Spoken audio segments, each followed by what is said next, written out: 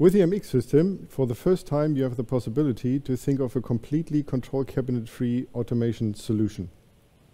Because everything the control cabinet has done in the past, may it be by the control cabinet or within the control cabinet, things like the metal housing or the cooling of the components or the components itself, may it be for functional safety, motor direct starters, power supplies, anything the control cabinet has done in the past can now be realized within one MX system.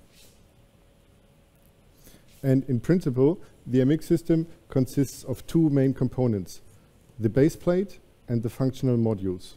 The electric connection between both is established via a data connector and a power connector. The data connector connects each functional module to the EtherCAT bus and supplies 24 or 48 volt DC to the functional module. Via the power connector, each module can use the uh, system voltage of 400 volt AC or the DC link voltage of up to 848 volt DC. The mechanical connection is double sealed and therefore ensuring the protection class of the complete MX system.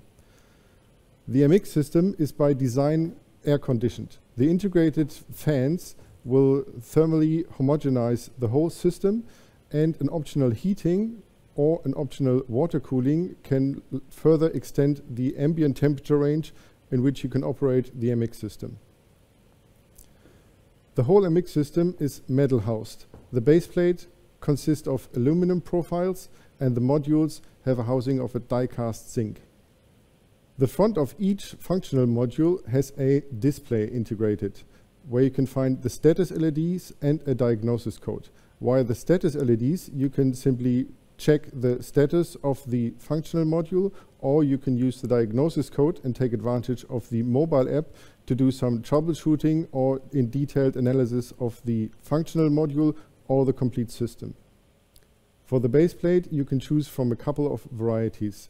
The smallest one, the single row uh, base plate, contains 6 to 24 slots and has only data slots available. The next size, the double row base plate, as well has 6 to 24 slots and contains the data slots in the top row or the power slots in the bottom row. In another variety, the application optimized variety, there's uh, defined slots for module sizes and you have the possibility to get the data slots in the second row as well. The portfolio of functional modules is by far larger. There's up to or more than 100 modules available or varieties of modules, beginning with the IPC modules where you can find the well-known Beckhoff low-cost or high-performance IPCs. In the MX system as well, you can have your application running on up to 8 cores on an i7 uh, processor. The next category of modules would be the system modules, where you can find your main power in feed, you can supply all the other modules with a 400 uh, volt AC. This module combines the fuse protection, the main switch, a 40, uh, 24 volt power supply, and energy measurement components. If you've got some motors to control, you can take use, uh, you can make use of the motion modules, where you find a dedicated DC link power supply, which turns the 400 volt AC into the DC link voltage of 600 volt DC. And there's uh, relay modules you can use for your switching applications, or you can use the direct motor starter. This one is a one-channel direct motor starter with up to 7 amps in the output. It uh, has a safe shutdown feature and got the connections for brake and temperature sensors integrated as well. By far the largest module category is the category of the I.O. modules, where you can find basically all the terminals you know from Beckhoff, from digital inputs, digital outputs to analog in and outputs, or the uh, 48 volt servo drives. And for any component, you can find the appropriate safety alternative for your safety application as well. And the last category would be the category of the coupler modules, where you can either connect a third party or a different field bus like the Profinet RT bus to your MX system or your MX system to the other bus as well.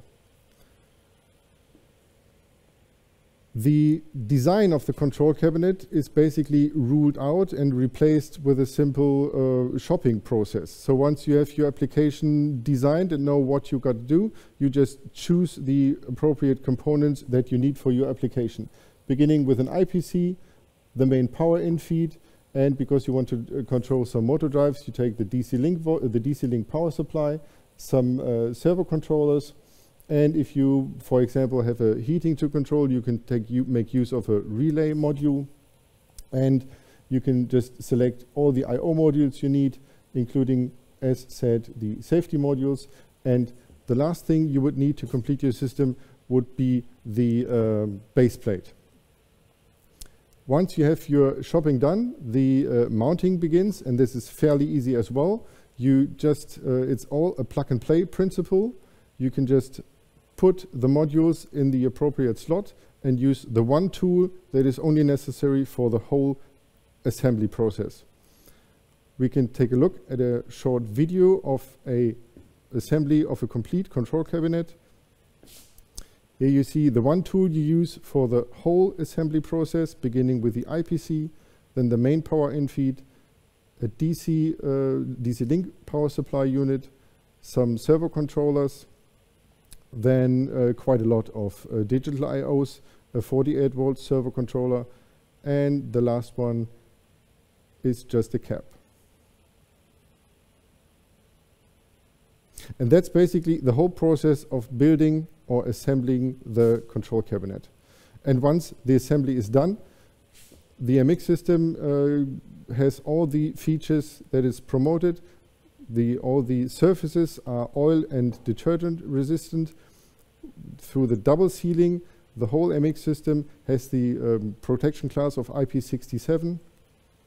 The metal housing and the design of all the modules ensure for all MX system an EMV category of C2 Without further doing, you can use any MX system in a temperature range from 0 to 50 degrees and via the diagnosis code you've got uh, every possibility to do some troubleshooting or diagnosis directly on the fly with your mobile phone.